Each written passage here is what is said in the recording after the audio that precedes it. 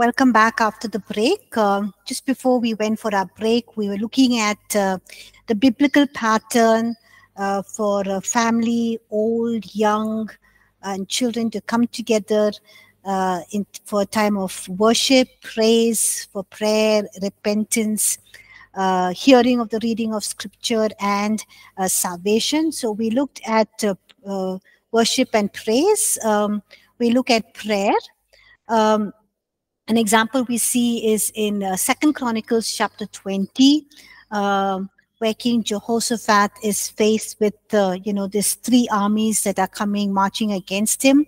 So he um, asks all of his people to fast and to assemble in the temple. And then, you know, this is uh, this chapter is basically uh, him praying out to God in front of all the people, and um, so he says uh, in verses 12 and 13, he's telling God that, you know, uh, God, we have no power to face this vast army that is attacking us. Uh, we do not know what to do, but our eyes are on you. And then it says that all the men of Judah with their wives and children and little ones, you know, uh, stood there before the Lord. So we see that, you know, they're faced with this uh, huge uh, three armies coming to fight against them. Uh, everyone is supposed to fast and pray, including uh, their animals are, you know, the uh, are fasting. Everyone this time, and uh, you know, the parents bring even the children and the little ones. Um, at this very important time you know they don't leave them out you know sometimes we think uh, you know why should we take children to church? Why should we send them to children's church? Let them be at home let them watch uh, cartoon uh, let them just play you know um, but look at the importance of uh, here you know the israelite community bringing their children their little ones and standing before the lord as one uh, a, a, group of people and uh, for the children even to uh, to learn because you know here you know uh, there was the spirit of the lord comes on Jahaziel and he prophesies and he tells the king what to do. And uh, you know uh, when Jehoshaphat leads the army the next day they go and they find uh, you know all of their enemies fought within themselves and all lying there dead on the battlefield with a huge amount of you know uh, things that they have left behind. So it's a big learning experience for uh, uh children. So you know even at times uh, we don't uh, take children for fasting prayer right? We think why should children fast? Children can't fast you know um, uh, why should we take them for fasting prayer? They they will just trouble us they'll bother us they won't understand. But look at the importance here of uh, you know children and little ones even being there in the time of fasting prayer just to inquire um, of the lord you know. And it's good that even children can fast. Uh, there are other uh, th- there are children from other religious groups who fast and pray. Um, I remember I went to, uh, you know, a part of the school outreach ministry of um, of APC called Catalyst, and I go to schools and teach scripture in schools. And once I was waiting for my class, I was sitting in the reception in one of the schools, and there was a, a young boy, you know, maybe in grade four or five, uh, sitting next to me, and um, it was pretty early in the morning, just the first to second hour had gotten over and so um, I knew that he was waiting for his parents to come and pick him up uh, to go home. So I asked him uh, what happened. He said, "I'm not well." I asked him, uh, uh, uh you know, uh, how what I mean, how are you unwell? He said, "I'm having a bad tummy ache." So I said, "You didn't have a breakfast this morning?"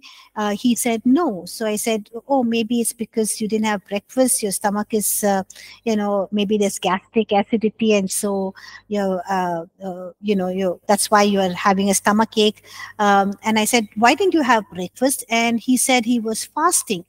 And i immediately knew you know um, uh, because it was this whole uh, religious group who, season of fasting and praying for them. And i was shocked because he was such a young boy and I asked him which grade are you in? And he said i'm in grade four. And it's like wow you know uh, grade four, uh, this young age, uh, you know, so zealous for his God and, uh, you know, so part of the uh, the rituals of his uh, uh, the, this religious group. I I was just thinking, you know, when I was in grade four, did I fast and pray? you know, I was just thinking that, and I was just saying, man, these people really, and the way they bring up their children and uh, teach them the ways of the Lord, and they're so zealous for their faith and for their uh, God. So it's okay if you know children part of the fasting prayer. It's good for them to learn because it's part of what we see that is in um, Scripture. Okay. Um, children were also part of um, the, the repentance when they would repent before the Lord. Uh, Ezra chapter 10, verse 1, we read that uh, Ezra was praying and confessing and weeping and throwing himself down before the house of God. And a large group of Israelites, it says, men, women, and children gathered around them, and they too wept bitterly. And why did they weep? Because uh, they knew that they had, uh, you know, they uh, they were they were struck, they were convicted of their sin. Um, they knew they had broken God's law. They had not kept His laws, His covenant. Um, and they needed to confess and repent along with uh, the scribe, along with the priest um, um, Ezra. And they were so sorrowed over their sin um, of this uh, uh, as a covenantal co- community, uh, just as Ezra had done. They all were reaping and uh, confessing and you know repenting before God. And so we see that even children were part of this process, and they were learning what it means to repent, what it means not to break the heart of God, what it means to keep the covenants, the laws that God had um, given them children were also, as part of the covenantal community of Israel, were part of the hearing of the reading of scripture. And uh, we read this in Nehemiah chapter 8, verse 2. Can somebody read that, please? Nehemiah chapter 8, verse 2.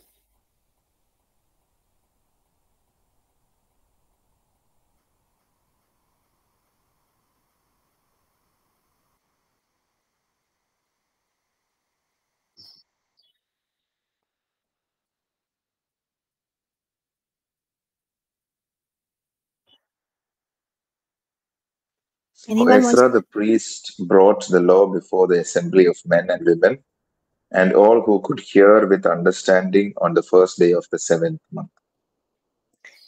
Thank you, uh, John Paul. So here it says, on the first day of the seventh month, Ezra the priest brought the law, you know, uh, and he was reading it out to the men, women, and all who were able to understand, which means it included children as well children were able to understand. So you know it's uh, important that we read scripture to children and also get them to read scripture because it's part of um, uh, you know what uh, we read in scripture what we read in bible. Also children uh, you know are uh, part of the salvation plan of god.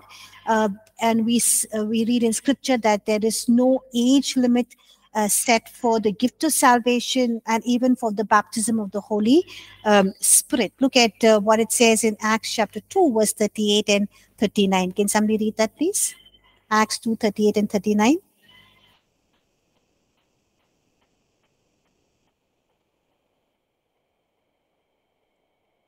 Then Peter said to them, Repent and let every one of you be baptized in the name of Jesus Christ for the remission of sins and you shall receive the gift of the Holy Spirit.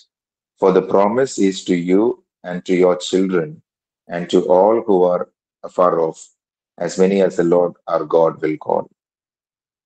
Amen. So here we see that, you know, Peter saying, uh, repent and be baptized. That means salvation is for everyone, forgiveness of sins is for everyone. So, can we uh, teach um, uh, salvation uh, this message of salvation to children who are four, five, six, seven years old? Can we? Yes, no? Can we lead children who are in, uh, you know, children who are five, six, seven, eight years uh, to accept Jesus Christ? Can we do that? Yes. Yes. Uh, because, yes, we can. Because here it says, you know, repent and be baptized, everyone the name of Jesus Christ for the forgiveness of your sins. And he says, You will res- can children also be baptized in the Holy Spirit? Yes.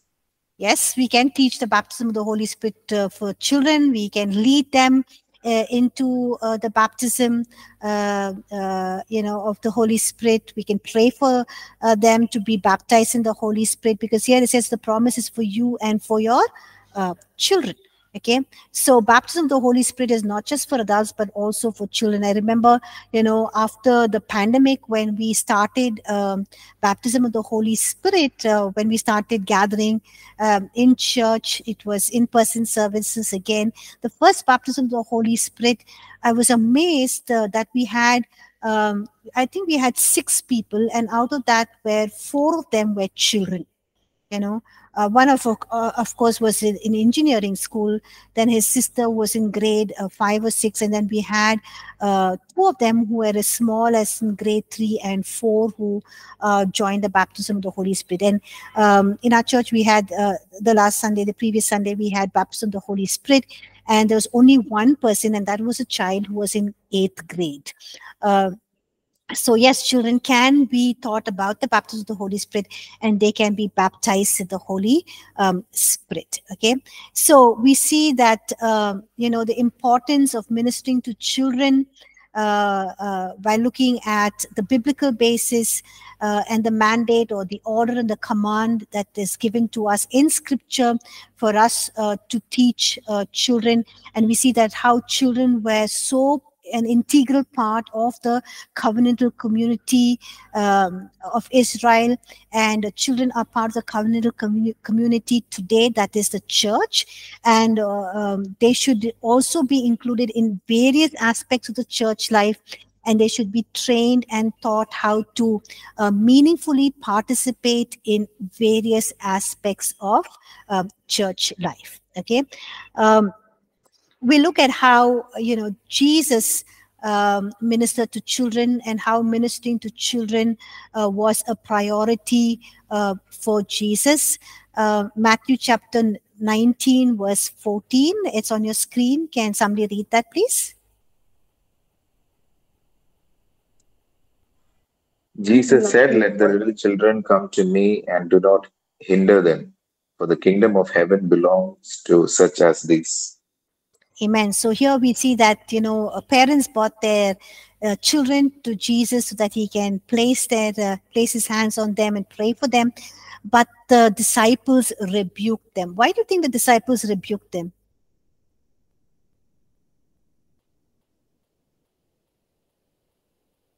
Why do you think the disciples rebuked them?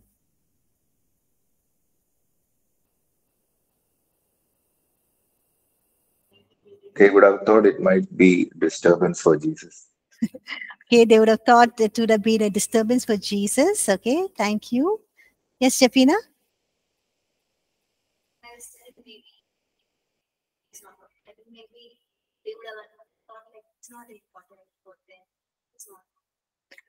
Okay, so Jeffina says it's uh, they would have thought it's not important for them. Uh, it's not for them. Okay, um, yes, the disciples didn't think that children should be ministered to. Um, uh, they didn't think they were a priority. They didn't think they would. They didn't sense they had such uh, uh, important, pressing needs for them to be ministered to. Uh, but we see that uh, Jesus did. You know, that's so wonderful. Uh, he made time to minister to the little children that uh, you know the parents brought to him. Um, the children are precious in god's sight. He loves them. Uh, he you know he wants children to be brought to uh, him. Uh, and we read this in uh, we read also in matthew chapter 18 verse 3 can somebody read that please? It's on your screen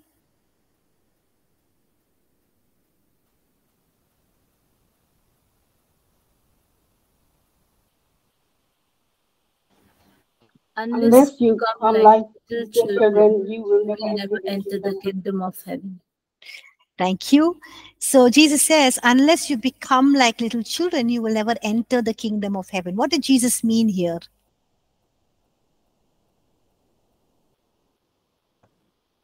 Uh, like their kind of faith. Okay, their kind of faith, their kind of trust. Okay. Jesus actually values their nature and their character. Their nature and character is just abandoning themselves to the care and the trust of their parents or to their teachers. So whatever the teacher and the parent tells them, they will just do exactly like that. Okay, the if the the the if the parent says the sun is the moon for the child, the sun will be the moon. You can't change it for them. Okay, it's just basic trust and you know that they have the deep trust they have and the way they abandon themselves to the care of their parents and the trust of the parents. So jesus says you know uh, we need to have that kind of approach in life uh, which is an essential quality um, for all um, believers. So just like parents felt the need uh, for their children to be ministered to by jesus um, so also today children uh, need um, you know help. They need help in navigating in today's world. Uh, they need actually the more of jesus um, uh, and you know because they have a uh, life ahead of them. Uh, sometimes we think that you know children don't go through the kind of problems, the challenges, the difficulties that like adults do, and uh, they are not in that place or position that they need to be ministered to like adults. What do you all think? Is that true?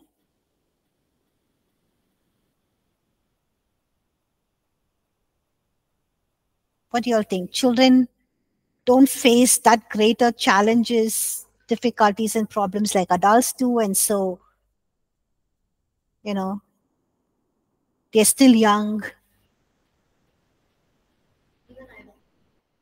You don't agree with that? Okay. What do the others think?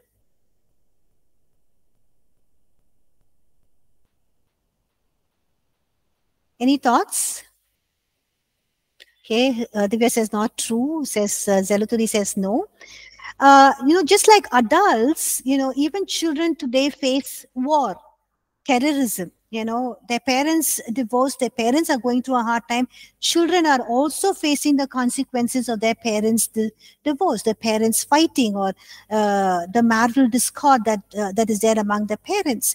You know uh, just like adults um, are facing crime rape the pandemic abuse uh, you know pressure peer pressure social media other anxieties even children you know uh, go through it. Maybe the magnitude of what they go through is not as greater uh, like adults do but they're also faced because they're living in the same world they they also face the same challenges uh, like you and i uh, do. So yes they need help to cope and to deal with situations uh, and to face the situations that they're going through just like we um, adults do. And um, just like the pandemic had uh, such a great impact on, on, on our lives you know some of us were able to deal with it and handle it uh, because as adults. But i noticed that the pandemic had a huge and a greater impact in the lives of children. You know when i got back to schools after the pandemic i just uh, i could not just uh, imagine uh, the way children were behaving, uh, you know, the disorder that was there, the kind of um, um, uh, the kind of behavioral problems, uh, the uh, you know the lack of concentrating in class, the way they were treating each other. I was just thinking, what's happening? You know, am I really back in schools? What's happening to these children? And I realized that just two three years of them confined to the home, and uh, you know, and the pandemic has such such a great impact on their minds and their lives that they were struggling actually to cope, and it was such a issue in the schools and all the teachers were finding it very challenging very difficult the parents were finding it challenging and difficult themselves and the children also they could not actually express themselves but it was just showing out in their uh, behavior so yes you know um, uh, they just need so much more of Jesus. Um, they need so much help to cope and to deal with situations that they're facing, uh, just like we adults uh, do. And when uh, Jesus gave us this command to preach and teach the gospel, uh, like he did in um, in Mark chapter six, verse uh, fifteen. I'll just put that on the screen, where Jesus says, "You know, go and tell all the world and preach the gospel to every creature." Okay, we see that uh, whether it is Jesus teaching about uh, preaching and teaching the gospel, baptizing people, whether it's about Holy Spirit baptism, uh, we see that he does not specify any particular age group, but the command included people of all ages and all people groups. So look at what he says in Mark chapter 16, verse 15, when he says, Go and uh, preach and teach the gospel he says he does not give any specific age but says go into all the world and preach the gospel to every creature you know?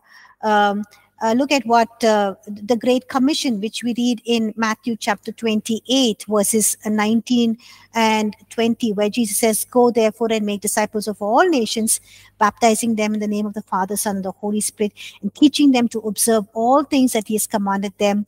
Uh, here also we see that there is no specific uh, age group that is um, uh, mentioned. Also, the promise of the Holy Spirit the, that we read uh, um, uh, in Acts chapter 2, verses 20, uh, 38 and 39, uh, it says, you know, the promise is for you and for your children. So for adults and for children who can be baptized in the Holy Spirit. So here we see that it was Jesus's priority uh, that children be ministered to, uh, that he ministers to children, that they may be ministered to, and also the gospel to be preached to children, children to be baptized, and for them to receive the promise of the Holy uh, Spirit.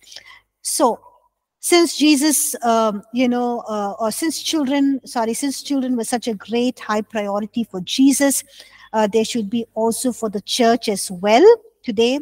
Um, when I say this, uh, what I mean is that children's ministry in a church uh, should be a priority, means it should be well planned, it should be well executed. Uh, there should be a team of committed and trained teachers. There should be a relevant uh, curriculum that is catering to the intellect, the needs, the taste, um, uh, and the mindset of uh, the the present day children. You know it's important that the curriculum is uh, catering to the present day uh, children. Uh, you know we started writing our own children's church curriculum in 2013 and um, we've run over that uh, you know some of the topics um, uh, you know, two times, I think. And I realized that after the pandemic, uh, we missed out on ministering to children uh, for almost two plus years. And um, so we started back with uh, the first topic. And I realized that, you know, we can't uh, you know dish out the same thing that we wrote for children in 2013 we have to rewrite it keeping in mind the present day uh, children their mindsets and um, you know what would really cater to their needs. So i am i started rewriting uh, the the curriculum. Uh, the first topic that we did was uh, the doctrine of god. We we call it as the nature of god. Now we're teaching about the holy spirit. So rewriting about the holy spirit. So it's important that you know we have a relevant curriculum that is catering to the intellect the needs the taste uh, of present day uh, children also make sure or ensure that we have a good worship team um, and activities and programs that are not just you know to um, kind of uh, uh, entertain children but activities and programs that will enhance or build their relationship uh, with god and help them to grow in word and their faith life just be built up maybe nourished in the word and faith life and help them to grow in the things of god okay? Any questions so far anyone has? Anything you would like to say? Any doubts?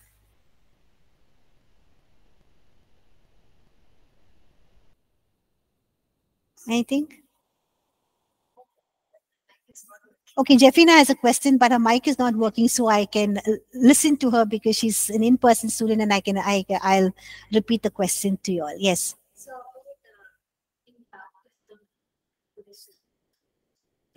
truly accept Jesus, uh, what if you have a doubt, like they're able to, or how do you like if there is a yeah we can Okay, so Jeffina saying if children want to be baptized in the Holy Spirit and they are born again, they've accepted Jesus, but how sure are you as a children's church minister or somebody who's ministering to them, how sure are you that you know they they would really believe they would really accept they would really know. I think for me uh, that question would not arise because uh, the very thing that they are taking that initiative to come you know uh, i can understand in my age in my time if my parents would tell me to do certain things i would do it. But nowadays children are different you know uh, it's they who decide it's they who think they who um, you know they want to be water baptized. If they want to uh, take baptism of the holy spirit uh, uh, you know it's they who tell their parents. And their parents also teach them about it. And then of course before we have the baptism of the holy spirit we teach them about the baptism of the Holy Spirit. Tell them, uh, like when I had this child on Sunday, I spent a good 25 minutes just talking about Holy Spirit baptism and then uh, praying uh, with her. So she knows what the baptism of the Holy Spirit is. And also, we're teaching um, Holy Spirit to children. We also teach them about the gifts of the Holy Spirit. We also teach them about the baptism of the Holy Spirit. We also have baptism of the Holy Spirit in Children's Church at APC. So yeah it's a good question. Um, but you know uh, just by asking them a couple of questions you can ensure you know and just them being there you know that yeah they've thought about it. Yes. Okay jeffina has one more question. So in, today's world a lot of young pastors like children are standing in the pulpit and they're teaching which becomes trending like nothing and uh, there was one small child whose father passed away. He was a pastor. He started preaching uh, back in Tamil Nadu, and that became very controversial. But when I heard his message, the doctrines were good, like how he's preaching is good. But the way people get it, uh, they they say so many things. It's an age where you have to focus to still understand the world. Uh, it's not the time uh, for you to come and So, what are your views on it? I think it's like for uh, like he must be around with the fourth or fifth grade right now. And I also saw that very young people, like first standard, second standard, like six years, seven years, they are preaching, they are really preaching the God, which makes my heart really happy. But I don't know, like, what are the comments that people pass? Is it right or not? Are? Okay, so um, uh, uh, Jeffina is saying that nowadays children at very young age, grade one, grade two, uh, preaching, teaching, uh, and he says she says back in her own place in Tamil Nadu, you know, uh, pastor who passed away, uh, his son is uh, in grade four or five, and he preaches and teaches, and so people are saying, hey, he shouldn't be doing that. It's his age for him to go to Sunday school now to learn. Um, uh, so, what do you all think about it? Jeffina's asking our thoughts, our inputs. What do you all think?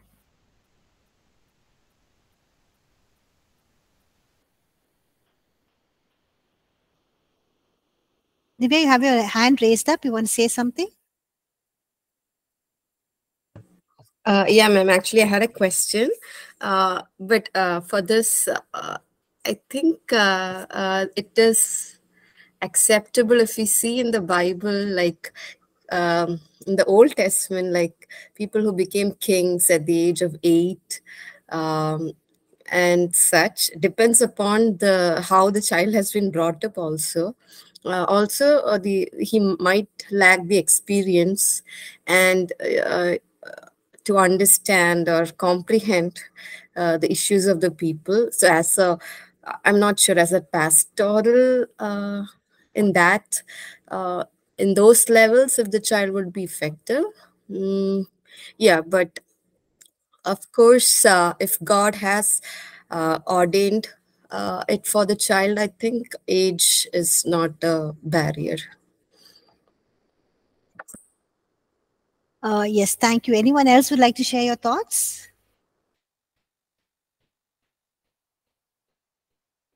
Yes success.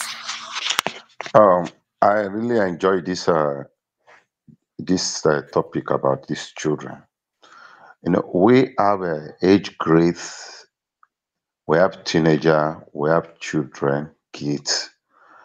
Uh, I, I want to use my own daughter as an example. She's six years old. My daughter is six years old, and uh, she loves reading Bible. So what we do, we encourage her to read more Bible. And one day, after when she read Bible, we are praying, and she started speaking in tongues in Holy Spirit. And I told my wife, I said, God has visited our daughter. If we can encourage them by studying the word of God, we are to plant a seed. God is to make the seed to spread in the life of the children. Because their children, they, lo- they only know little. But if we can plant it for them, they can spread. We are talking about Holy Spirit. God Himself is the one who will do the major work. I, my wife is a children teacher in our church. Yes, by special grace of God, I'm the GO. I told her, don't sit in the church. Make sure, because the children are more important to me, their lives is more important to me than adults.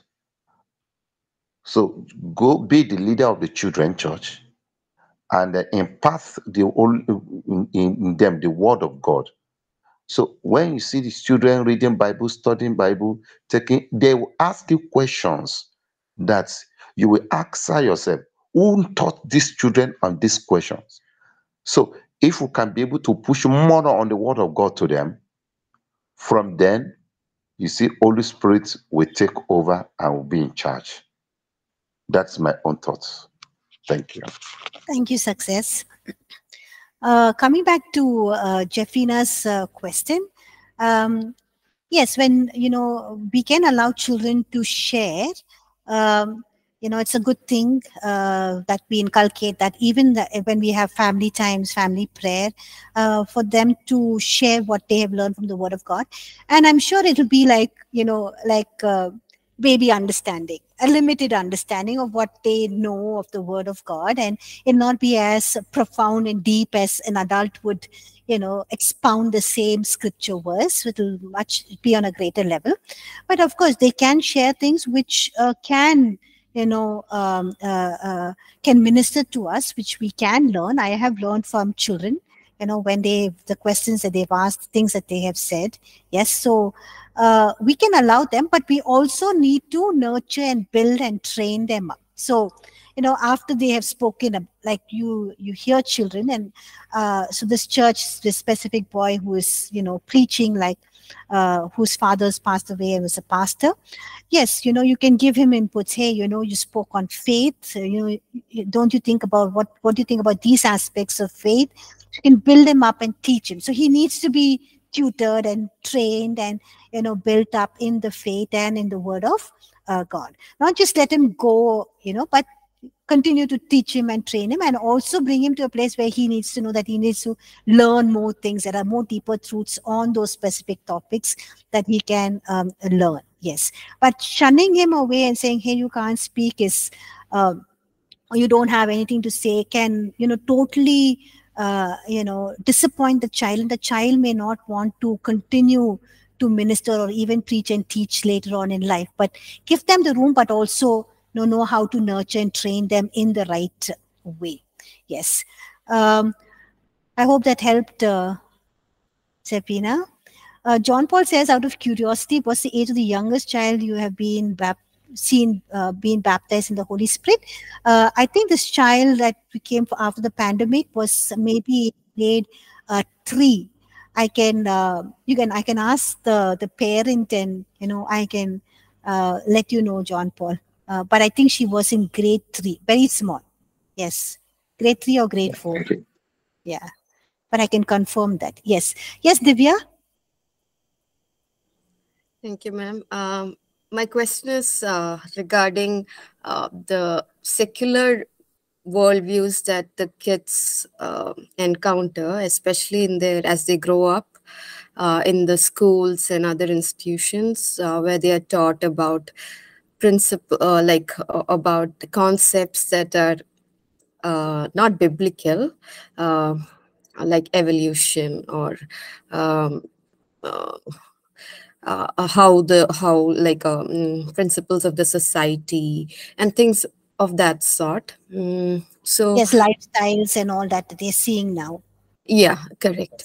So, uh, how, uh, like, as parents or as teachers, uh, uh, we can help the children to not only to uh, grow in, uh, you know, the Christian, uh, the biblical worldviews, uh, and plus how uh, should we like teach them how to defend the faith? Like how to that apologetics kind of teaching.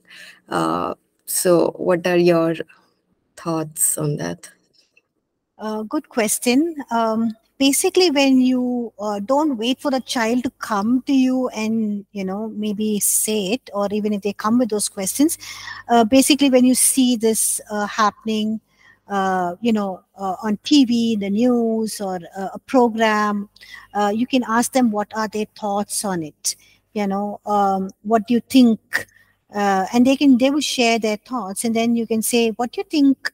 Uh, if if um, if Jesus, I mean Jesus is listening to our conversation, what do you think would Jesus say regarding this? So, what do you think He has told us about this in the Bible. So it's like listening to, they will be listening to two viewpoints, and then you can actually tell them which you think is is the is the better of the two. I mean, what the world. Uh, so basically, debate, discuss with them. Um, uh, so what we see in in in scripture is um, in the old testament you know when moses goes uh, to pharaoh to the court he um, uh, god gives him some miracles to do right put out your staff and there'll be uh, snakes and you know uh, did god not know that when moses is going to go and do this perform this that the magicians are also going to do it? God yeah. would have known right? Yeah. god would have known. But he still goes ahead and tells him hey go and do this before pharaoh. And what does pharaoh do? He just sits down there and says you know i i don't think this is any great miracle you're doing. Just claps his hand and tells his uh, you know magicians to come and they do, they do the same thing. And he mocks uh, uh, uh, Moses and his God. And what happens? Uh, Moses' snake swallows up all their snakes. Okay. And they're able to do the first two miracles, but later on they're not able to do it. And the magician says, Hey, this is the finger of God, It's the hand of God. So, um, you know, children uh, we think you know they don't know the truth they're not able to recognize the truth uh, but they they are able to okay because uh, you know we are praying for them. They have the spirit of god in them.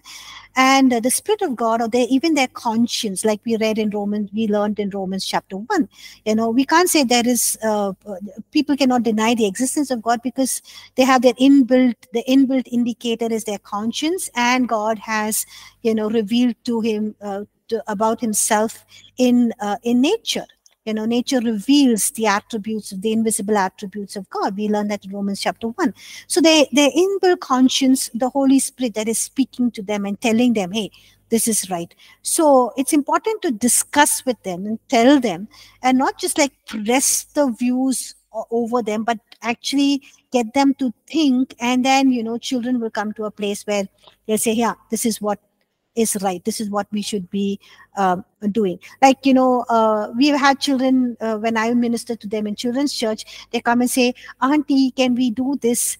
Um, and then i just look at them and smile and they say we know it's not the right thing but we just thought we'll ask you uh, but we know that you will say no.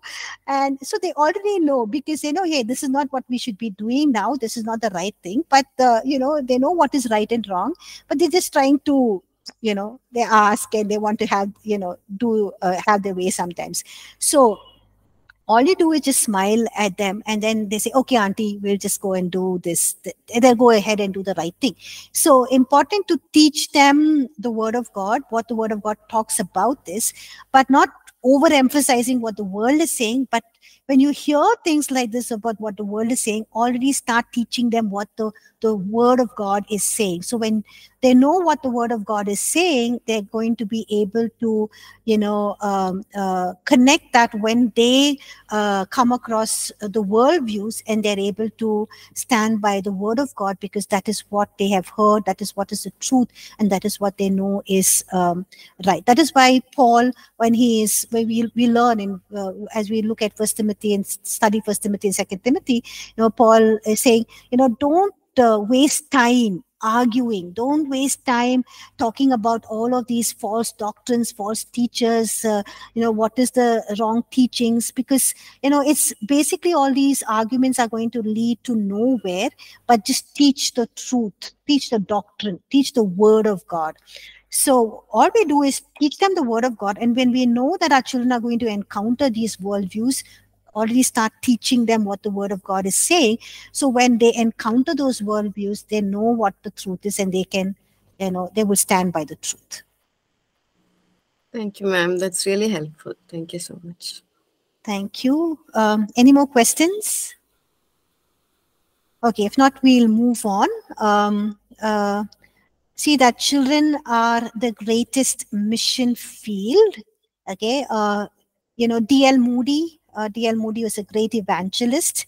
Uh, he comes back one day from a tent a revival meeting, and um, all of them are very curious to know, uh, you know, how many people were saved during his tent revival meeting. Uh, so he told them two and a half people were saved. He tells them two and a half people were saved. So whoever was talking to him replied, "Oh, do you mean?" Two adults and one child. So two adults and a half was a child. So DL Moody responded, no, two children and one adult. And so he tells this to the person who asked this question. He says, when you save a child, you save a life, a whole life. So for him, um, the two people were children who have the whole life you know so when you save a child uh, you know you have the, the child has a whole life to live, to impact, to influence others for uh, the kingdom of God. So, you know, children are the greatest uh, mission field. And so, ministering to children, uh, you know, teaching them uh, is uh, you are in the right place where you are in the right mission field where you are impacting their um, lives. Uh, the next one is that children, you know, um,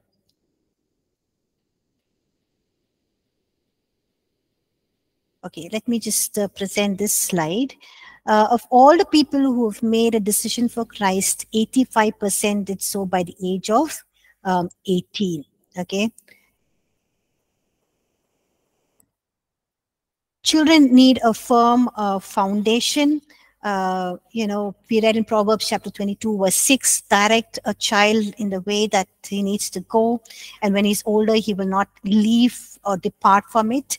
Uh, so the time we spend uh, with children at from a very young age impacts the rest of their lives because the things that are instilled in them as uh, children, you know, it won't be forgotten even when they grow uh, older. Okay, so children's ministry basically, our time with children or teaching children allows us to pour uh, core values into their lives while they're still growing up, so that when they grow older, you know, they will know these values, they will live by these values, even if they kind of go away you know these values will be there because the holy spirit will remind them will bring them back and um, as we teach them you know uh, scripture bible verses uh, to memorize you know they will be able to recall those uh, in later times in times of difficulty because the holy spirit will bring that back to memory.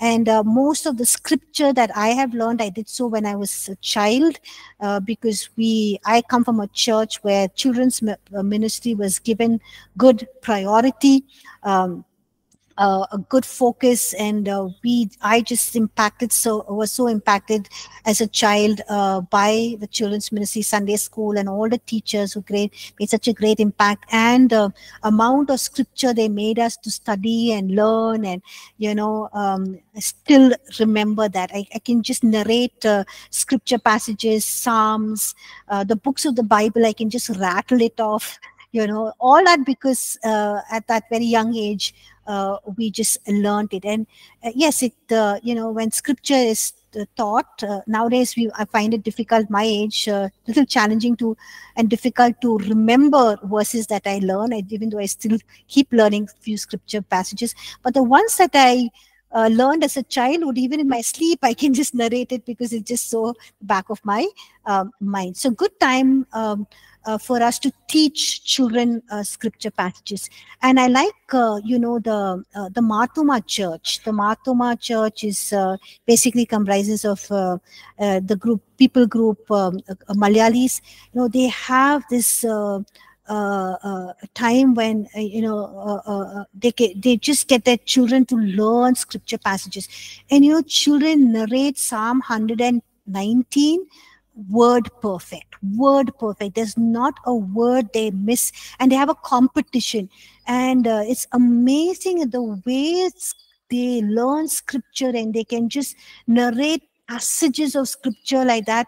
Word perfect it just blows my mind and they just do such a wonderful job in teaching scripture uh, to children and for them to narrate and to memorize scripture. Wonderful job done by the Mar Thoma uh, church. So you know good to get our children to memorize as much as scripture as uh, uh, possible because time is also running out when we will no longer have bibles in our hand and you know the, the truth of scripture that they memorize will come back to memory.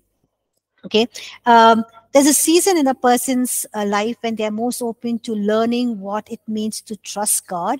And the season they say is somewhere between um, the age of 4 to 14 years. You know it's called um, uh, the 414 window. I don't know if you've heard about the 414 window uh, it's a it's a time an age when people or children are more moldable than they can ever be in their lifetime. Uh, you know so during the season of life is when children are forming their understanding of the world of relationships of love of god.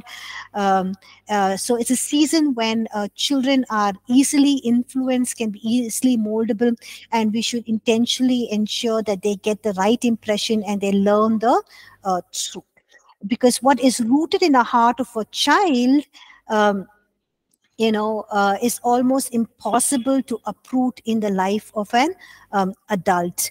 So you know when uh, god says uh, you know for everything there is a season and a time for every matter um, under heaven i think he really he did mean everything you know.